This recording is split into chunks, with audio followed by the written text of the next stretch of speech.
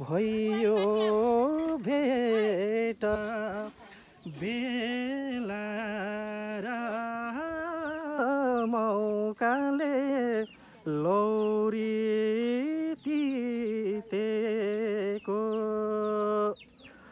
थाहा पाइन हो दाइ मैले जोबान बिते।